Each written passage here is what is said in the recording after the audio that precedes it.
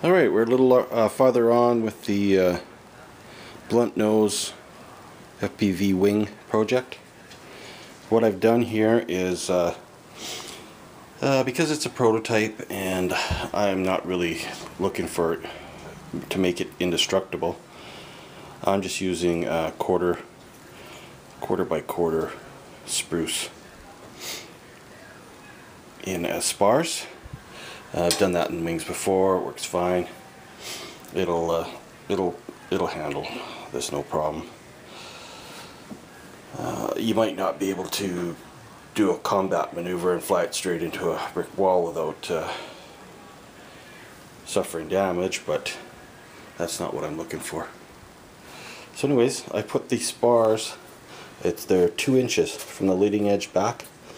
Uh, I didn't bring them in to meet on this side um, because they're not flexible, right? So I just brought them over the seam and cut them off.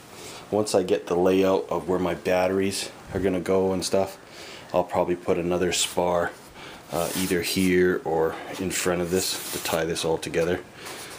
Ideally, what I would like to see is another one going across somewhere about there, but we'll we'll wait until we get the layout of the batteries and stuff. So I've just got this uh, glued in and I've got some pins just to hold it in place while it's setting. Actually, I'm using something that's uh, probably a little odd to most of you, but it's a it's a spray foam. Uh, you can get it for insulating houses and stuff for cracks. It's expandable spray foam.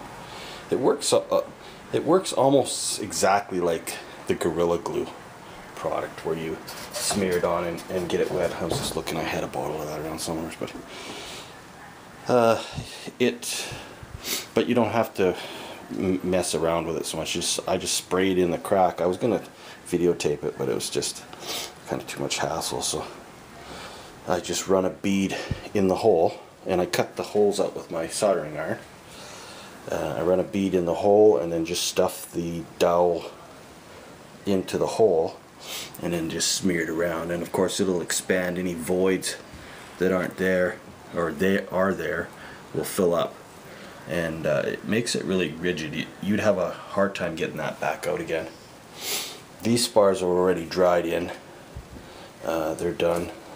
There's spars uh, on the other side but I haven't done the middle yet.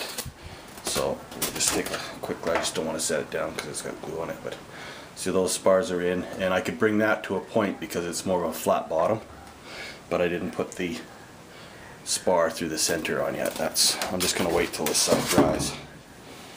So anyways, that's a look at it.